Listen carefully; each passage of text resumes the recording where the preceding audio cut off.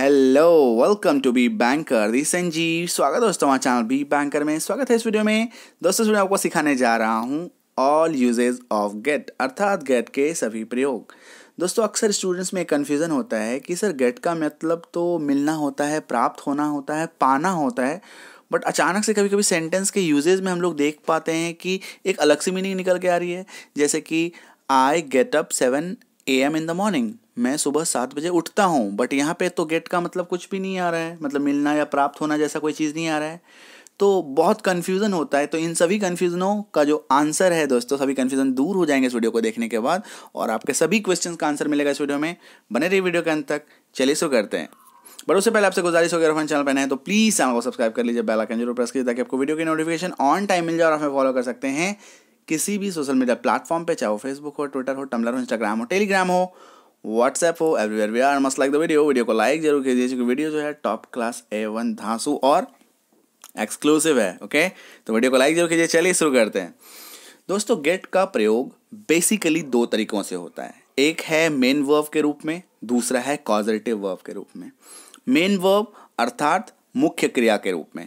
कॉजरेटिव verve अर्थात कारणवाचक क्रिया या प्रेरणात्मक क्रिया के रूप में। लोड मत लीजिए, समझ में नहीं आ रही है? आगे आपको स्टेप बाय स्टेप सब समझ में आ जाएगी, है ना? तो पॉजिटिव वर्ब के रूप में यूज़ होता है। क्लियर है? दो तरीकों से मुख्य यूज़ इसके होते हैं, मुख्य उपयोग इसका यही है। चलिए, एक बीच में थोड़ी सी मैं आपको बता दूँ कि गेट का वर्ब फॉर्म जो है, वो भी वन भी टू भी थ्री गेट गॉट गॉट भी होता है और गेट गॉट गॉटन भी होता है। तो भी थ्री के रूप में गॉट का भी प्रयोग होता है है ना? तो कंफ्यूज नहीं होना है, बच्चे बच्चे अक्सर इसमें भी कंफ्यूज करते हैं कि सर यहाँ पे गॉट लगा हुआ है गॉट तो भी टू होता है। नहीं गॉट भी थ्री भी होता है। क्लियर है? ये दूसरा कन्फ्यूज़न एक और क्लियर हो गया। चलिए, अब देखते हैं गेट का यूज़ जो है वो मेन वर्व के रूप में कैसे होता है। गेट का मतलब मिलना, प्राप्त होना या पाना। मिलना मतलब मीट वाला मिलना नहीं है जैसे हम लोग किसी से मिलने जाते हैं, वो वाला नहीं। मिलना मतलब मुझे कुछ मिल गया, वो वाला मिलना। है ना? एग्ज़ाम्पल से देखिएगा। He gets two hundred rupees for his job उसे उसके काम के लिए दो सौ रुपये मिलते हैं। क्लियर है?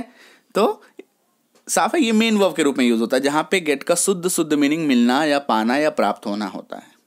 ठीक है? एक और एग्ज़ाम्पल से देख लेते हैं।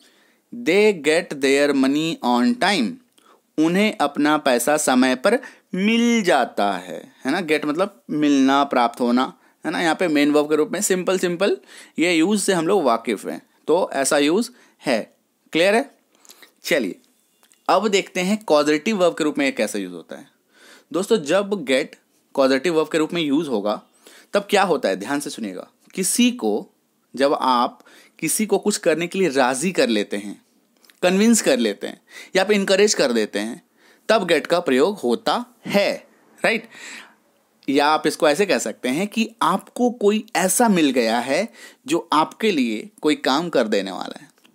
आपको कोई ऐसा मिल गया है जो आपके लिए कोई काम कर देने वाला है।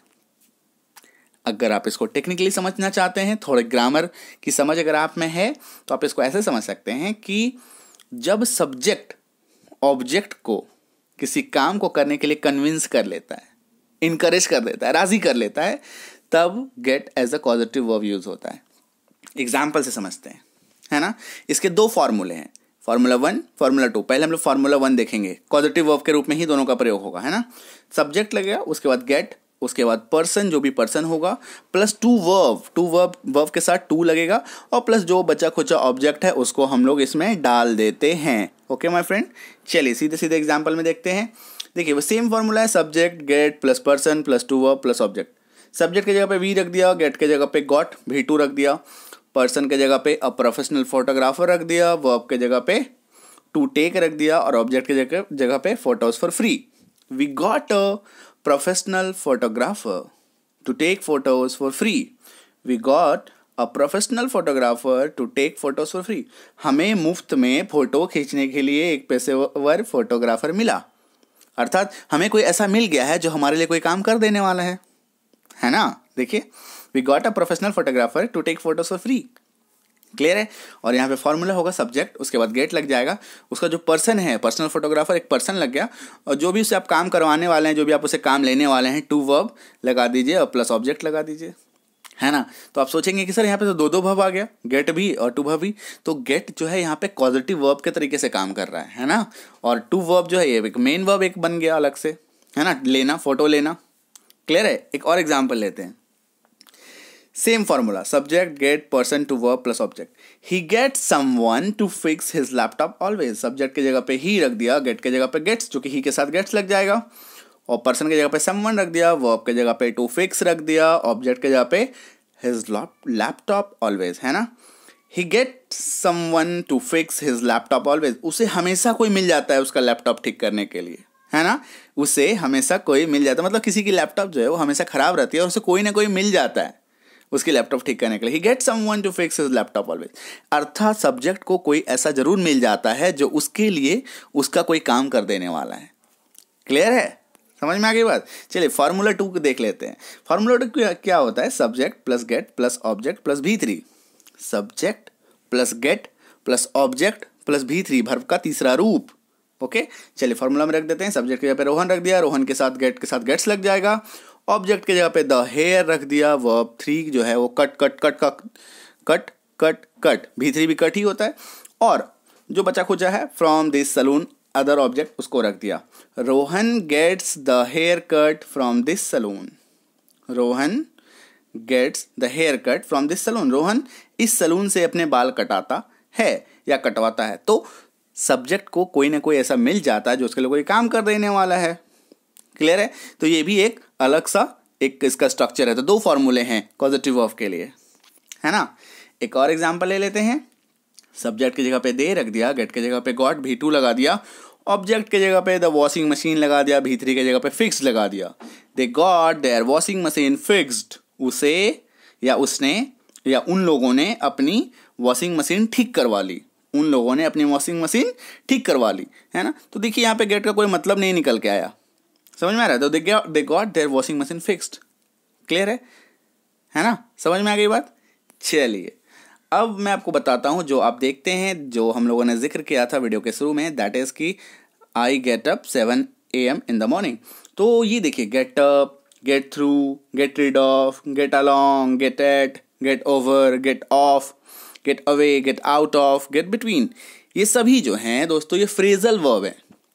ये गेट के साथ लग करके एक अलग मीनिंग क्रिएट कर लेते हैं, है ना? तो ये एक फ्रेजल वर्ब है। इसको हम लोग गेट के साथ मिक्सअप नहीं करेंगे। फ्रेजल वर्ब जो है, ये एक अलग टॉपिक है पूरी, है ना? इसके रिगार्डिंग ऑलरेडी हमारे चैनल पे वीडियो अपलोडेड है जाकर के आप देख सकते हैं। तो गेट उसमें बहुत सारे वर्ड होते हैं, जैसे आप किसी के साथ भी लगा सकते डील है। है ना? तो deal in deal on deal at सबका अलग अलग मीनिंग है है ना? तो ये जब भी फ्रेजल वर्ब क्या करती है? किसी वर्ब के साथ लग करके, जो है प्रिपोजिशन लग करके, वो एक अलग मीनिंग क्रिएट कर लेता है। तो इसको हम लोगों को अलग से पढ़ने की ज़रूरत है। आप ये समझ लीजिए कि यहाँ पे जितने भी लिखे हुए हैं गेट अप गेट थ्रू ये सभी एक अलग वर्ड मीनिंग है। है ना? ये सभी एक अलग वर्ड मीनिंग है, जिसको आपको अलग से सीखने की ज़रूरत है। इसको हम लोग गेट के साथ मिक्सअप नहीं करेंगे। क्लियर है? आगे बात समझ में? चलिए, अगर आप इंग्लिश स्पोकन की फ्री में कोर्स करना चाहते हैं कंप्लीट कोर्स साढ़े छः घंटे की वीडियो है। स्टेप बाय स्टेप छोटी छोटी वीडियो में बटी हुई है साढ़े छः घंटे की वीडियो और कंप्लीट कोर्स को आप देखने के बाद आप हंड्रेड टेन परसेंट इंग्लिश बोल सकते हैं। सभी वीडियो की लिंक जो है डिस्क्रिप्शन बॉक्स में भी है। और जैसे ही वीडियो अब खत्म होने वाली है, अभी अभी अभी अभी तुरंत एक लिंक पॉपअप होगा। आपकी स्क्रीन पे एक प्री स्क्रीन देखिए वहाँ पर क्लिक करके सभी वीडियो को आप एक्सेस कर सकते हैं, देख सकते हैं। आप सभी वीडियो के लिंक जो है सीधे सीधे हमें व्हाट्सएप करके भी प्राप्त कर सकते हैं। ओके माय फ्रेंड उम्मीद करता हूँ वीडियो पसंद आया। Thank you so much for watching बने रही बीवी के साथ। Be with B knowledge all the best happy